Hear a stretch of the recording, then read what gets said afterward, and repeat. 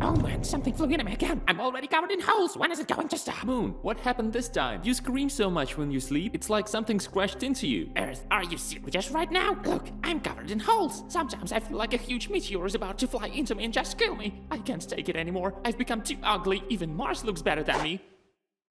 Earth, why don't you have as many holes as I do? How do you do it? I can't be the only one who gets hit by meteorites. I don't know. Maybe people who live on me save my life.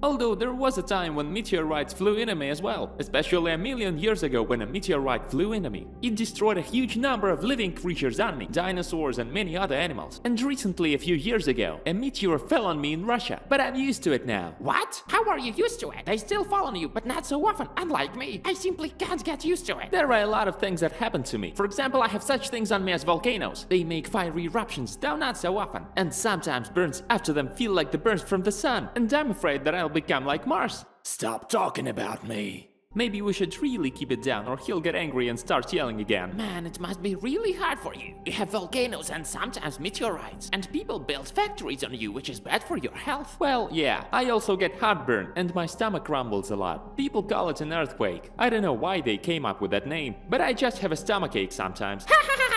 that must be funny to hear. Guys, why am I hot? Oh, oh no.